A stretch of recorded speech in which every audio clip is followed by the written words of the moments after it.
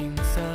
转过身，那一刻，看见梦想闪耀，七彩绚丽的颜色。带着初心，我们迎向未知和曲折，内心中有忐忑，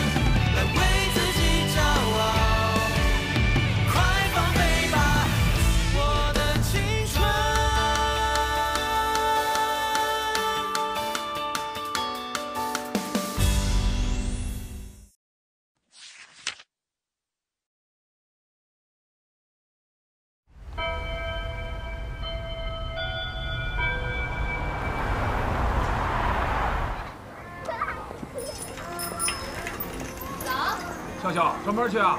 对加油啊！谢谢。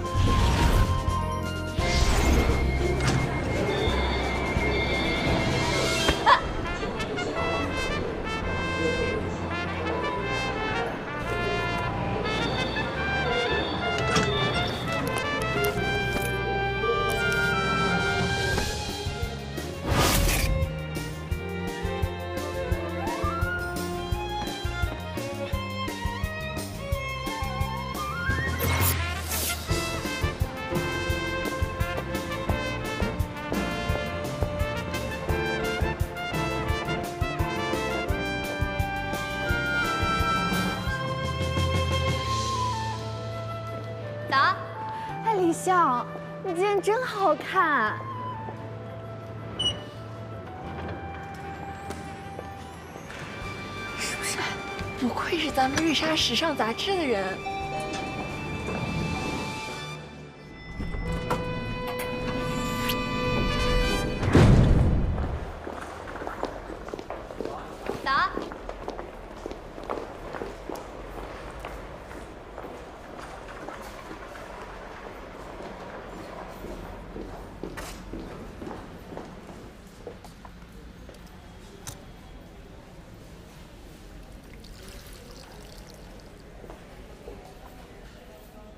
笑，套装搭配小妖精，可以呀、谢谢。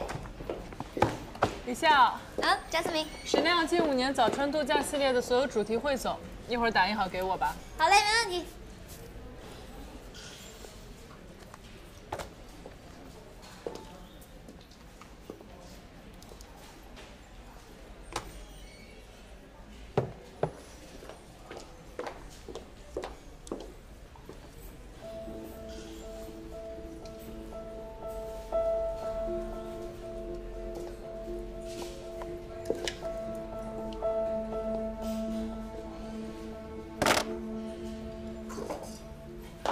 小莫姐，不好意思啊，椅子舒服吗？还可以。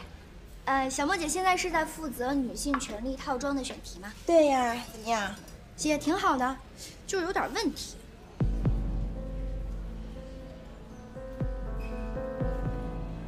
说说。关于女性权利套装的历史追溯，这点写的不是特别准确。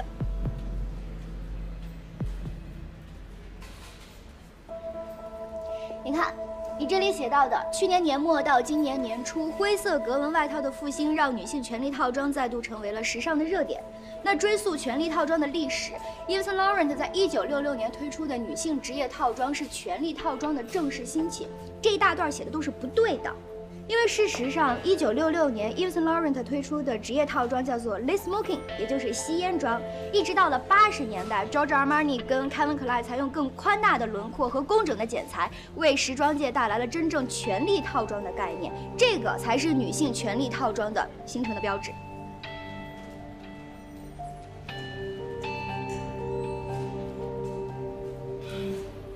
你的劳务试用期快结束了吧？啊。明天。那我就恭喜你能够顺利进入瑞莎，我们早日成为同事。谢谢你，小莫姐。姐去掉，叫我小莫就好了。谢谢小莫。那能不能帮我倒杯水？可以啊，没问题。谢谢。不好意思。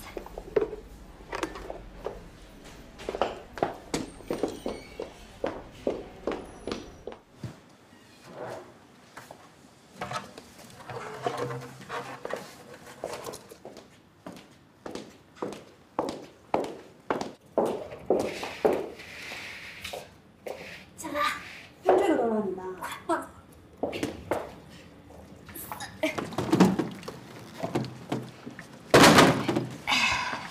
谢谢你下班。我听说你试用期顶替的小鹿，休完产假可是不回来了，回来了。要跟老公一起创业开公司了。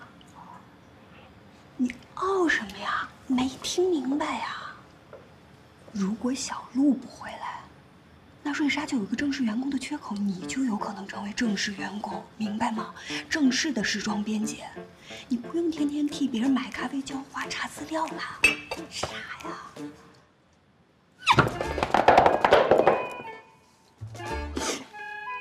成为瑞莎正式的编辑了，下班了。八岁，八岁那年我跟着我妈看电影，赶上赛事。如果如果我要成为正式员工的话，那我这梦想我不就实现了吗？嘘嘘，收收住。越是这个时候，越要冷静，就当自己什么都不知道，好吗？嗯。冷静，冷静，冷静，冷静。好了好了，拿着水。一九六六年，Yves Saint Laurent 推出的套装是 Lee Smoking，你竟然能把它和一九八零年 George Armani 和 Kevin Klein 推出的权力套装弄混，怎么查的资料？Lee Smoking 是什么？是中性套装。女性权利套装是什么？是展现女性权威的，为女性量身剪裁的。这两个东西一样吗？作为一个时尚编辑，你对时尚的判断和敏感都没有，你还干什么？回家去吧。多少人想干还进不来？Hello everybody，祝白冰。我请大家喝咖啡，半个小时以后到我办公室开始选题会。李笑，你帮大家统计都要喝什么？OK，没问题。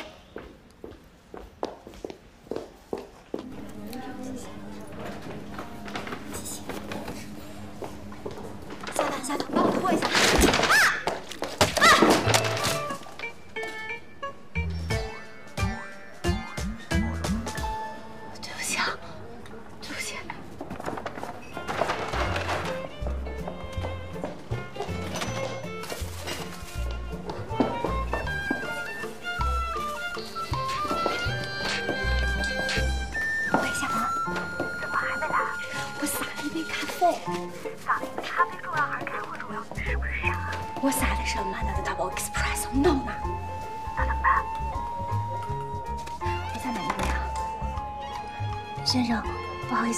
你收拾啊。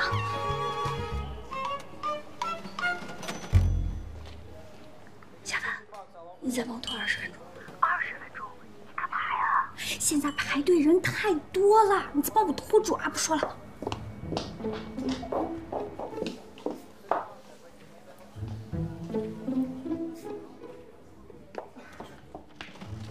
谢谢你的咖啡。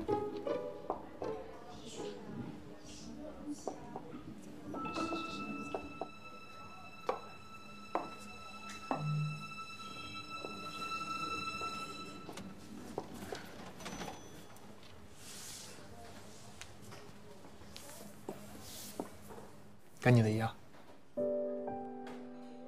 快去吧。谢谢。哦，我把钱给不用了。谢谢。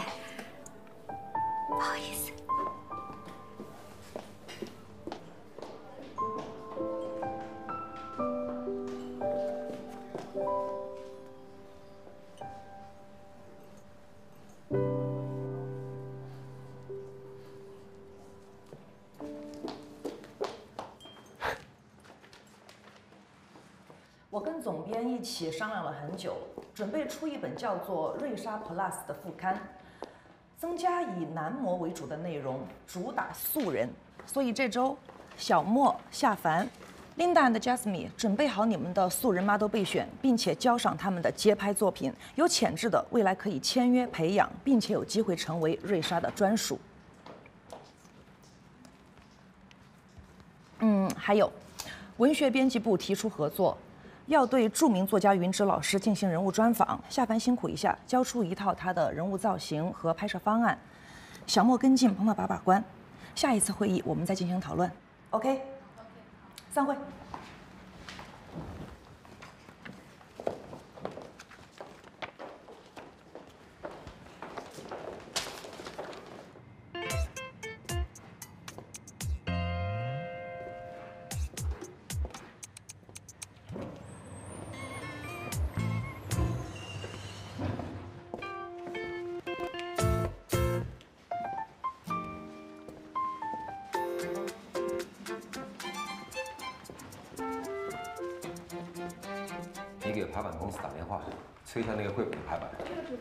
星期了。嗯，现在就打。胡编辑，这是主编让我给您的三稿。啊，我知道这个，行。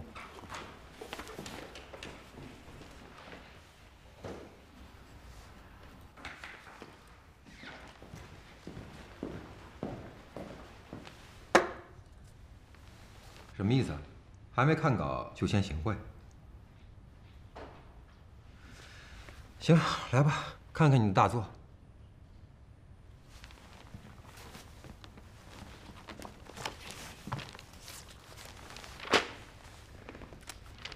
无足之，大哥，什么情况？能不能弄个干净的？我怎么看？无足之什么？不认识啊？我说你好不容易写本书，连书名我都看不懂，你觉得会有人买吗？那是你看不懂，不代表别人看不懂。这个字儿念“志”，无足之志。哦，念志，嗯，我学会了。哎，你这笔名“耒阳”，这是个地名吗？如果你想用地名做笔名的话，你为什么不挑个好听点的？比如说杭州，要不成都也行，至少有首歌很火。要不就来个重口味的松花江。可是你弄的这是什么？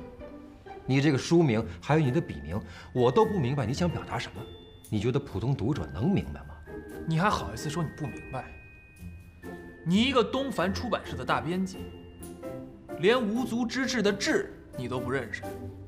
你以为我真不认识这个“志”字吗？志，没有脚的虫子。你这个无足之志，用通俗的话，意思就变成了没有脚的没有脚的虫，是重复，知道吗？还作家呢，连个书名都有语病，你好意思吗？拿回去，改。我可告诉你啊，这个书稿可是你约的，你至少得看完吧。别蹬鼻子上脸啊！要不是看你有点小才华，我才懒得帮你。你改还是不改？你不改，我就不看。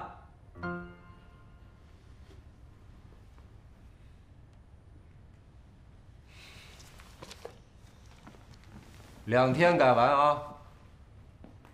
哎，还有一件事儿，我在想，你是不是考虑来我这儿当个文学编辑助理？你与其在家里写这些破玩意儿，还不如到我这儿来学点东西。一方面可以多看看别人的稿子，还有一方面可以了解一下出版的流程。怎么样？我告诉你啊，我是一个作家，我崇尚的是自由之精神、独立之思想。我不来，再见。站住！回来！拜拜。两天啊，改。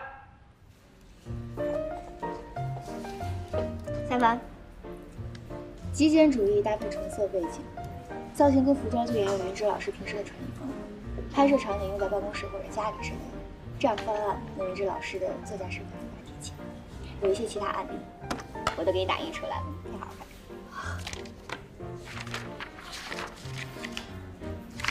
看。各位领导这边请。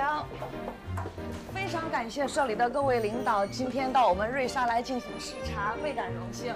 这一块板是我们的背景板，手绘专题文案都会在上面展示。千万别把这张海报是我们瑞莎近期销都是出版社的领导，今天可能是来视察工作。这边是走进什么？那领导那么年轻，白胡子那个，他就是 HR 的主管，只要他签了字，你就能杀他。啊，各位领导，然后这边请，这是我们的样衣间，很多 model 的小样拍摄我们都会在这里面进行。这是我们和专题组合作的新一期的专题文案。这云植不是作家吗？是的，我们瑞莎一直将文化与时尚结合，做高品质的时尚杂志。嗯，请，谢谢。奶奶您好。啊，你在叫我吗？啊，叫谁奶奶呢？奶奶，你是丢了一串耳环吗？我今天没戴耳环啊。说的是这个。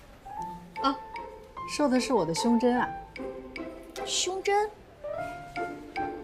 好吧，暂且先管它叫胸针，但它其实就是耳环，对吧？您看它的质地是银质镂空的，几年前 Chanel 跟 Handler 都出过这种工艺主题的耳环。如果我没记错的话，您这一款应该是几年前纽约珠宝秀上展出的。你确定？我确定。李笑，资料打了吗？等会儿啊，而且我还有另外的根据，因为是从您的气质上判断，我觉得您应该是比较欣赏对称搭配的美学，所以您应该是丢了一个，把另外一个当成胸针戴了啊。但其实这样戴也挺好看，那毕竟是耳环嘛，还是希望您能找到另外一串。行了，该忙什么忙什么去，文案都做了吗？做了。不好意思，这是我们的实习生，平时爱较劲，啊，有什么说错话的地方，希望您别介意。我没介意，他分析的还挺有道理的。叫什么名字啊？我叫李笑，学校的校啊。这么巧，校对的校。实习生什么时候转正啊？应该快。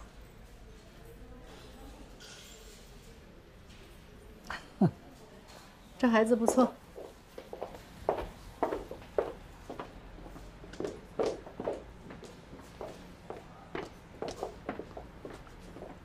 说好的沉住气呢？我刚没沉住气吗？人家是领导，你叫人家奶奶，那挺和蔼的呀。什么叫应该快转正啊？你多会儿能改改啊？笑。我觉得挺冷静的。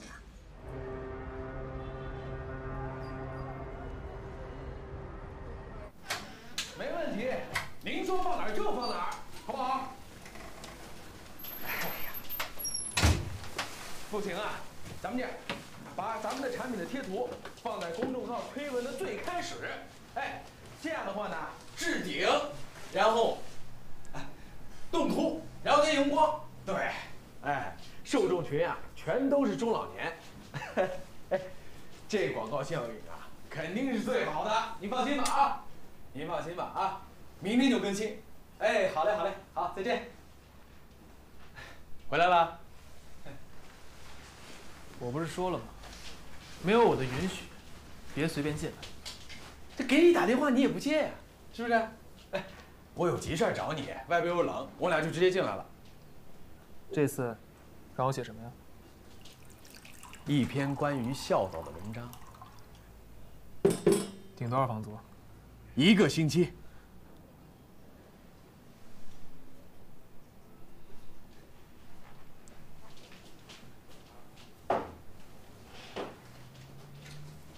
哎，你看看，我这引文，家里父母健在的一定要看，多吸引眼球啊！哎，这下边直接来一句俗语啊，“百善孝为先”，直接点出了中心思想，后边啊都是论证。你看看怎么样？看看。这不是写挺好的吗？哎呀，问题不在文章上。哎，这最后啊，我想加一点这个生活小贴士啊，像这什么健康啊、养生啊、美容啊什么的，没有这些呀，这中老年人怎么会看？要是没有中老年人看，我这广告哪儿来呀？这个我真的写不了。我就知道你会这么说。哎，我这后边啊，跟你列了那么多网址，你上上面给我去看一看啊，挑挑选选，实在不行，复制粘贴会不会？啊？一个星期，一个星期的房租。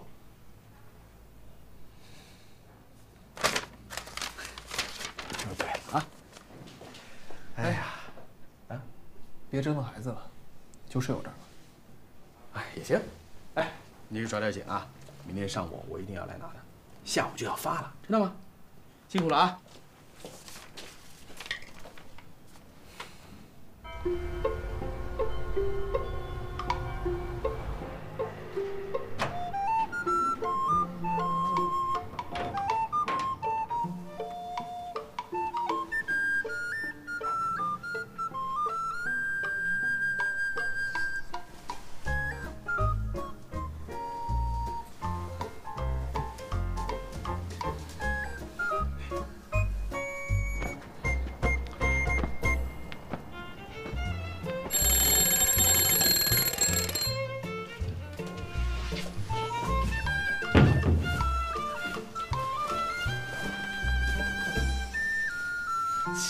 啊，快！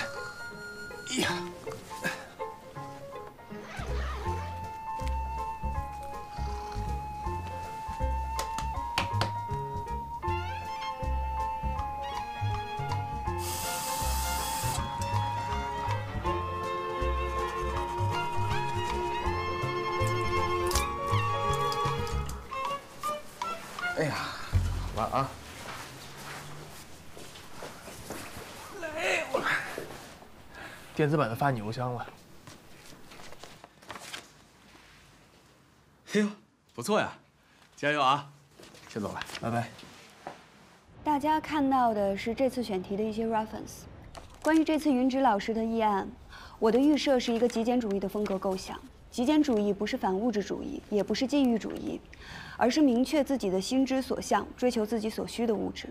极简主义者一般都有坚定的生活态度和强大的自我判断能力。我觉得以上的这些都符合云芝老师的作家身份，同时也契合了专题编辑给予我们心之所向的这样的一个主题。在大片的拍摄上，我觉得就是云芝老师日常习惯的穿搭，配合井然有序的工作环境，进一步的突出云芝老师的心之所向这一面。专访的内容我已经听得很明白了，可以按照这个方向来。但是关于这一次大片的拍摄，你确定你对极简主义的理解没有什么别的误解吗？难道极简主义就一定是极其简单吗？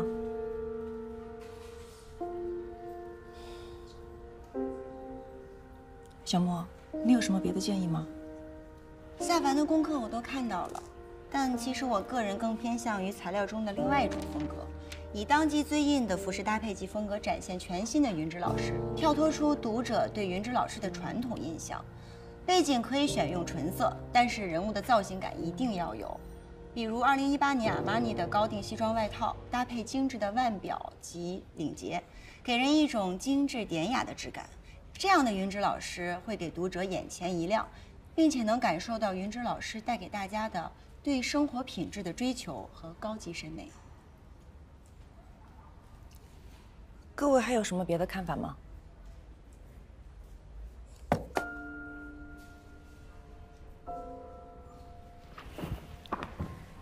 主编，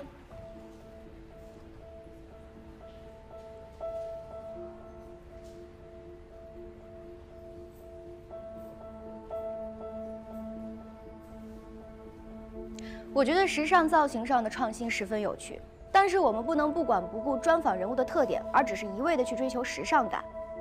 刚刚夏凡提到的极简主义不是极其简单，而是极有追求。因为我们大家都对云芝老师十分熟悉，我们可以试想一下，high fashion 的造型在云芝老师身上真的适合吗？我之前有查阅一些云芝老师新书的内容，就是一本类回忆体的小说。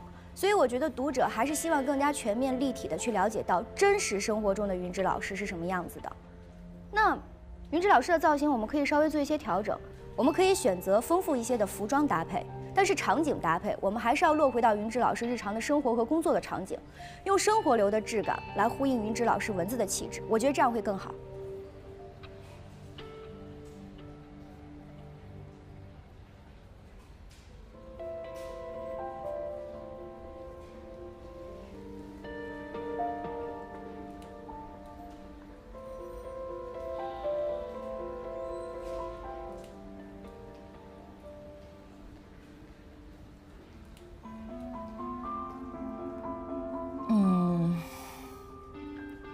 小莫、夏凡，把你们的专案再细化一下，交给我。李笑，你也准备一份，我再考虑看看。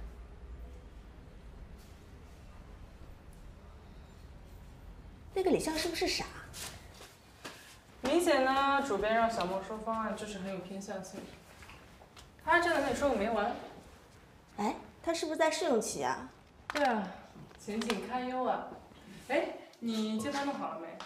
哎，我得学人家小莫，给经纪公司打了两个电话就搞定了。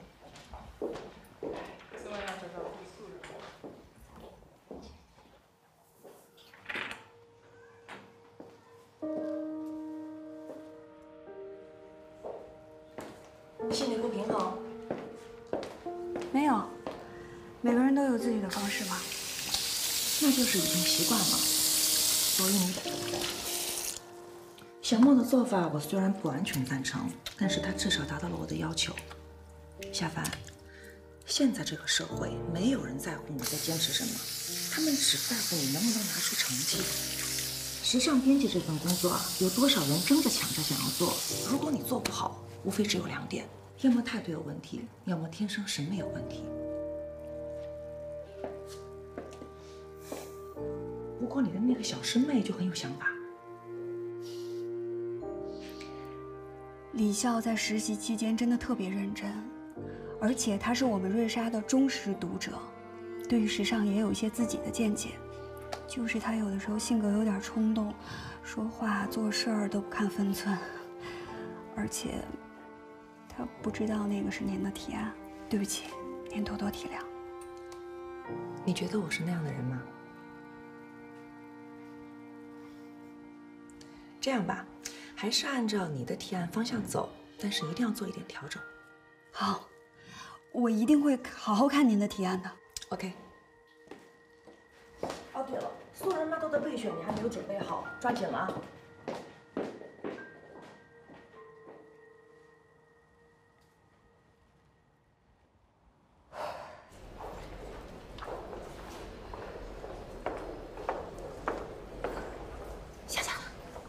刚刚开会的时候跟你说不会不合适吧？也没什么不合适的，有想法就是要说啊。阿曼达，你有不开心吗？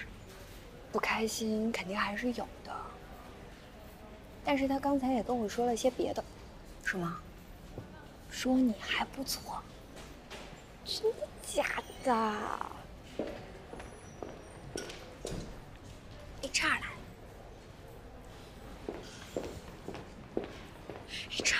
HR 来找个曼达，会不会是因为……等等等等等，淡定点儿。记住我之前跟你说的了啊！我接拍去了。好，哎，用不用我跟你一块去？你就别去了，我劝你还是亲自确认一下转正的事情。好，好，店里啊，嗯。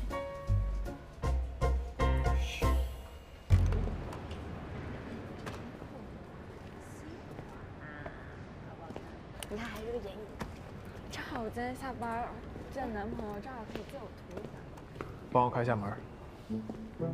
哎，去哪儿啊？这是？文学编辑部。登记。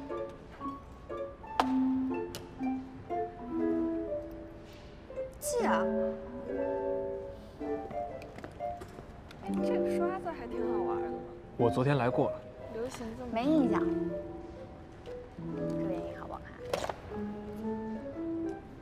觉得这个镜子不是很喜欢。就我看你天天的那边那个吧，叫鲜艳。哎，他昨天好像确实来过了。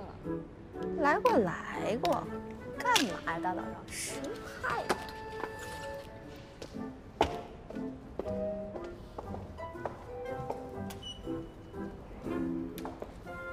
下次记住了。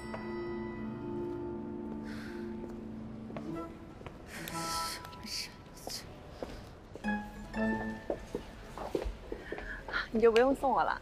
行，那我就不送了。哎，好，这事儿就麻烦你了。哎，好，哎，好好，嗯，再见。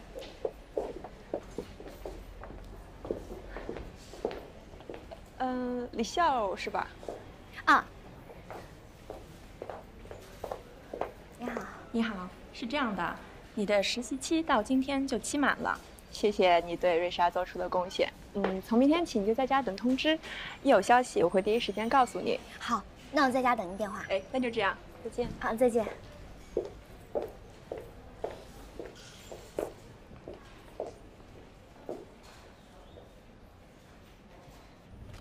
这开的都是些什么玩意儿啊？小说开篇第一段不到一百个字，你搞了十几个生僻字。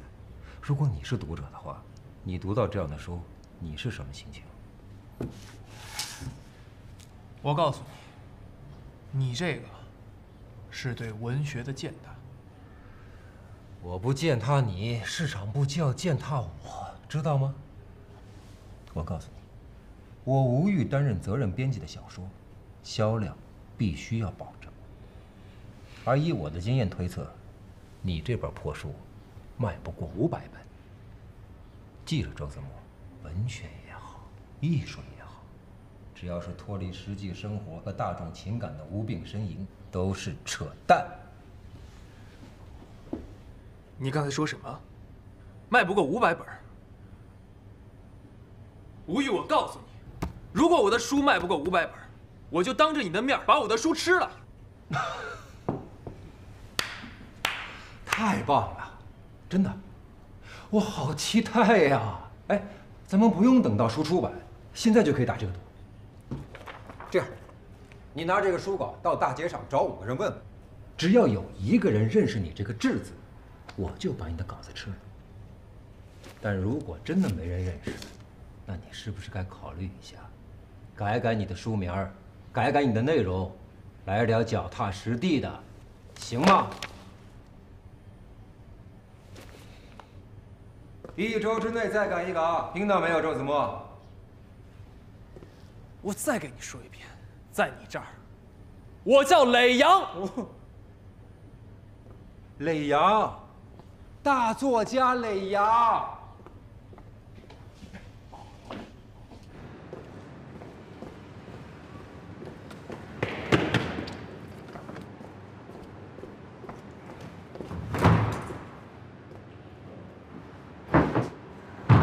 哎，注意点啊！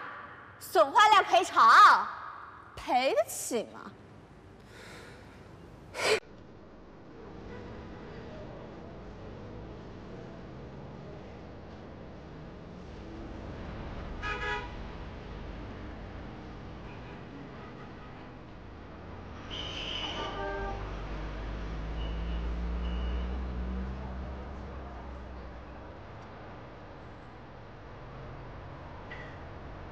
那个不好意思，打扰您姐，请问您认识这个字吗？嗯，谢谢。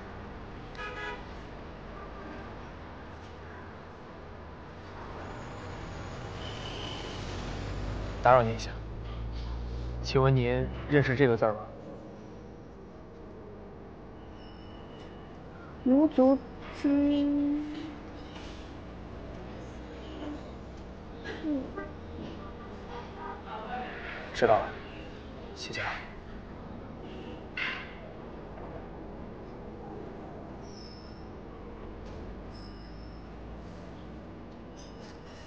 不好意思，打扰一下，请问你认识这个字吗？谢谢。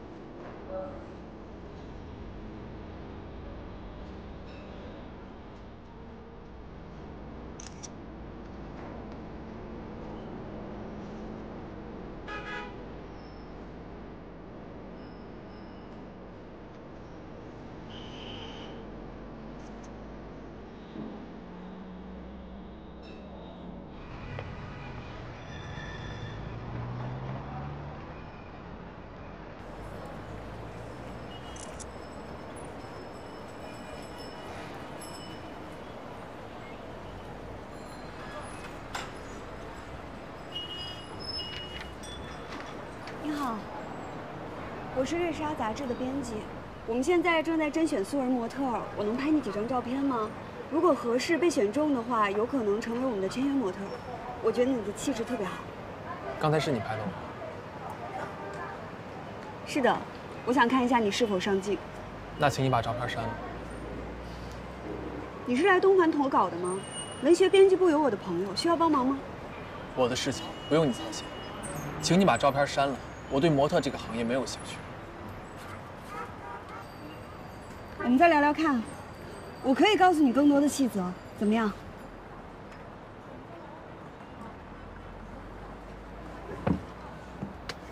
我对这个行业没有兴趣，这是我的相机，你在干嘛？这是我的隐私。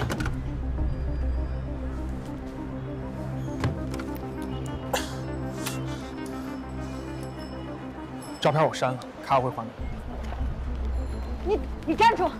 我现在的相机坏了，里面有我工作的资料，你知道吗？我说了，卡我会还给你的，相机我也会赔给你的。那你给我留个电话，名片总有吧？你在哪个杂志上？瑞莎，瑞莎杂志。好，相机我会还给你的，就这两天。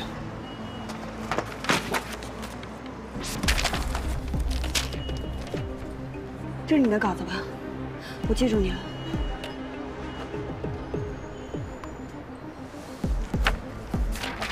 就算你不这么做，我也一定会陪着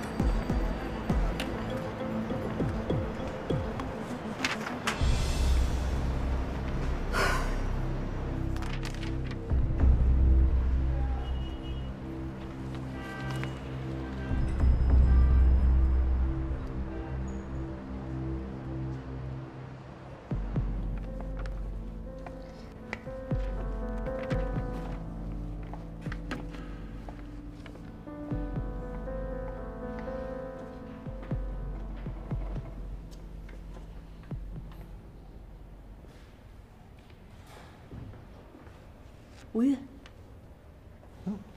仙女下凡，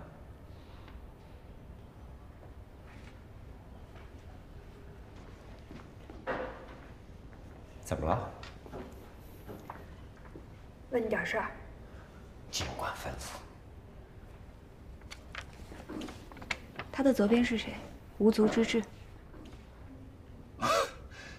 你还真认识这个“志”字？怎么会在你这儿啊？不会是那小子拿着这个跑到你们瑞莎去投稿了吧？他把文学当时尚了。哼他是你的作者。猜对了。怎么了？我在街上找素人模特，拍了他两张照片，他不愿意，嫌我相机摔坏了。他？那得赔呀。要赔的，他说了。对呀，必须得赔。你放心，这是我的座驾，他要是跑了，还有我。我不是这个意思。嗯。我要找他这个人。我过去了。我下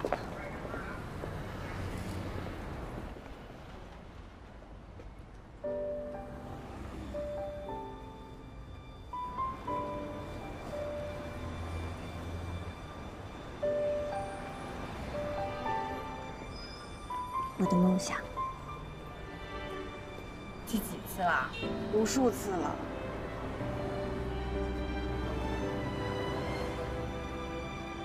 我生之前吧。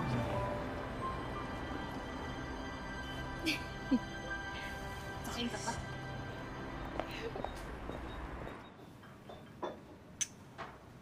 哎，是不是应该说点什么？说点什么？预祝一下。祝什么呢？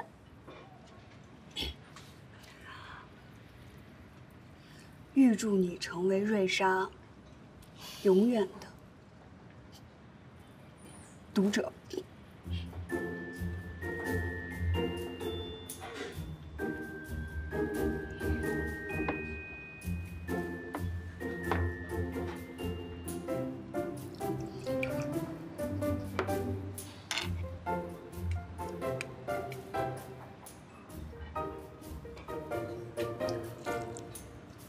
我就是开个玩笑，怎么那么小心眼啊？一点幽默感都没有。夏凡，我当然会是瑞莎永远的读者，这点你不用提醒我，你也不用激我，反正你之前已经给我透过底了，我就当是自己给自己预祝一下，行吗？黑夜里的星光，像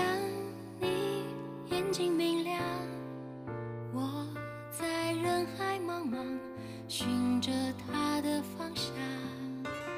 有时不眠晚上，想你笑的模样，印在我的心墙，爱情从天而降。去追梦的路上，